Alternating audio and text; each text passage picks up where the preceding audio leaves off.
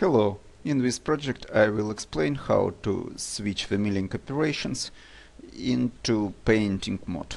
Okay, first of all I load the milling project and if we will look the simulation it works in the milling mode.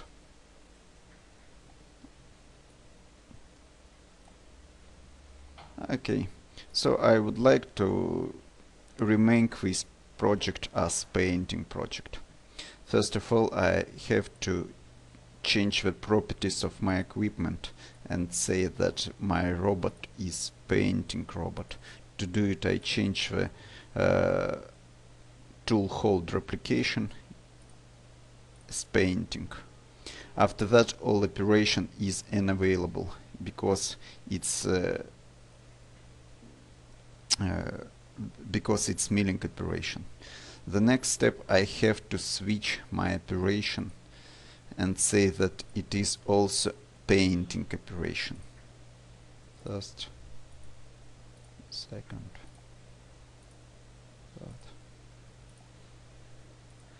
And finally I need to change the workpiece. Uh, it was a uh, workpiece for milling for the painting it's enough to say empty workpiece because we will just change the color of the model and, enable my operations and recalculate it.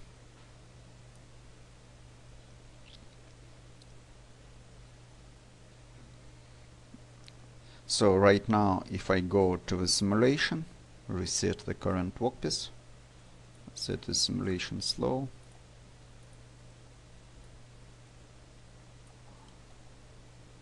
so the simulation paints the current model. It's very important to say that the part is visible because the geometry is not painted, part is painted. Okay, uh, right now if I want to change the tool, the best tool for the painting we can define with the holder. Click parameters of operation and say for example right now we have cylindrical mill but I say it will be 200 millimeters diameter and define the holder diameter height height uh, diameter height. Okay this holder is perfect for us. Say so right now we can see this kind of holder and calculate the operation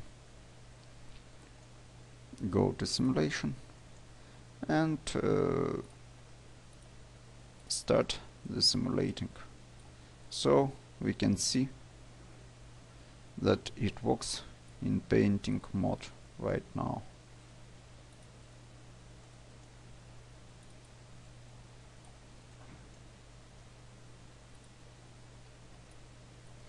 Thank you for your attention.